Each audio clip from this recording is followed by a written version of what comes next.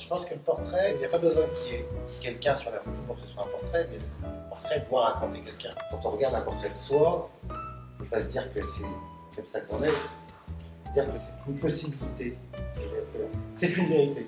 C'est une proposition de vérité. La première chose euh, qui est importante à dire, c'est que moi je ne fais pas de la photo pour, pour euh, l'accrocher au mur, je fais de la photo pour vivre des aventures. Que ces aventures, à un moment donné, puissent intéresser euh, d'autres personnes et que je puisse les partager avec d'autres, c'est presque, si vous voulez, la, deuxième partie de mon travail et qui, qui aussi est la partie, on va dire, dont j'ai besoin pour arriver à être encouragé, parce que c'est un encouragement à un moment donné de, voir que le travail qu'on fait se partage et s'apprécie. Moi, j'ai jamais d'idée préconçue euh, et j'ai pas de vision surtout de, de, ce que j'ai envie de photographier, puisque c'est quelque chose que je découvre et c'est une histoire qui se qui s'abrique exactement euh, quand je la vis. Quelque chose de très instantané.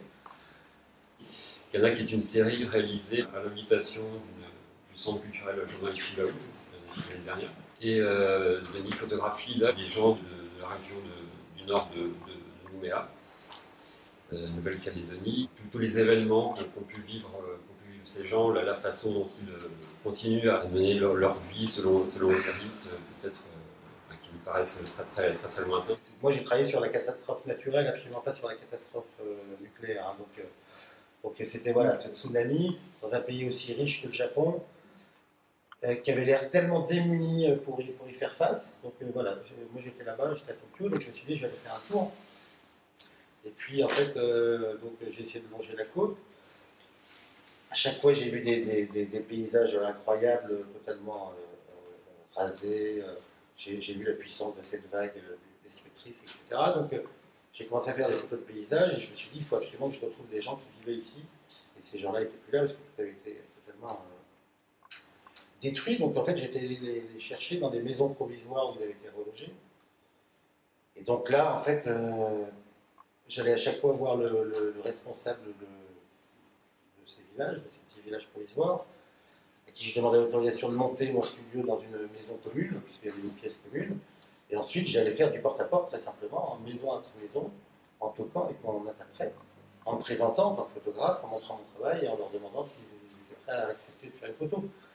Là, euh, très concrètement, sur euh, ce, projet sur l'Otaïd, je veux dire que 95% des gens refusaient.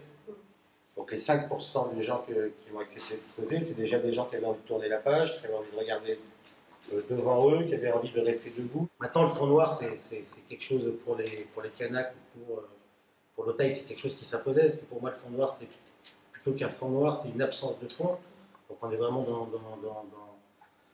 dans la non-présence du fond, le noir n'étant même pas une couleur, on va dire que c'est pas voilà, c'est plutôt l'absence de fond.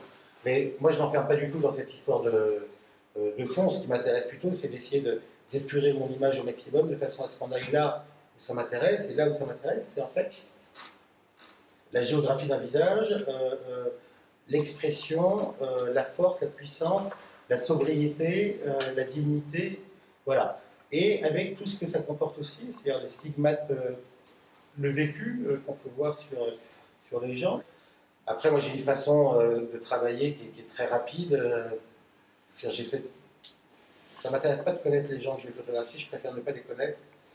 Je préfère les, connaître sur ce moment de la prise de vue. Je n'ai pas envie de leur faire faire quelque chose d'attendu.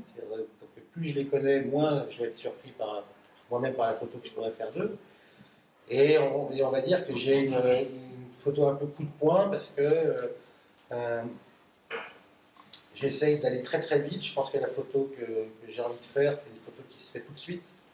C'est une photo qui se fait un peu sur la surprise aussi. Euh, et j'essaye de bousculer un minimum la personne que je photographie, façon à ce qu'en fait, ce soit pas elle qui fasse la photo, mais bien moi on a souvent euh, euh, des gens qui ont déjà l'idée de comment ils ont envie d'être, de comment ils vont se plaire.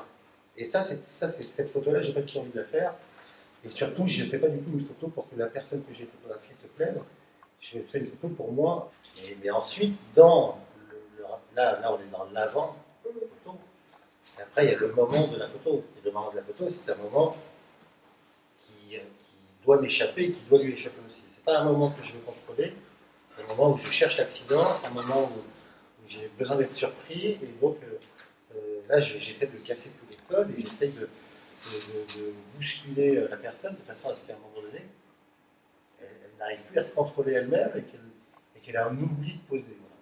C'est dans cet oubli de poser que moi je vais faire la photo qui m'intéresse. C'est ensuite que j'ai peut-être photographié 300 survivants du tsunami. J'en ai mis peut-être 60 dans le livre. Donc en fait, j'en ai enlevé 240. C'est là où, c'est là où en fait j'interviens aussi. moi, je dis souvent, euh, être photographe, c'est pas appuyer sur les boutons. Être photographe, c'est choisir les photos qu'on va montrer aux autres.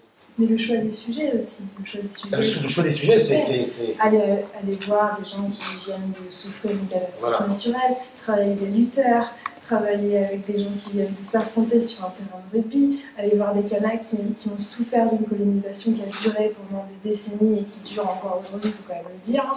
Euh, voilà, c'est ça aussi, c'est aller voir des gens qui, s'inscrivent dans, un contexte. D'abord, je ne me suis jamais dit que je faisais un travail documentaire, ni d'ethnologue, ni scientifique. Je fais un travail libre. Ensuite, j'ai jamais dit qu'il fallait que je respecte des quotas d'âge, filles, garçons, pour les Français, d'origine euh, étrangère, etc. Ça, pareil, ça, je ne fixe aucun, euh, aucune contrainte. C'est mon libre, euh, ma, libre pensée, ma libre vision que, j'exprime et, rien d'autre. Et je suis tenu par rien en fait. Il y a une photo qui m'intéresse et en fait, toutes les autres, c'est le chemin pour arriver à ma photo.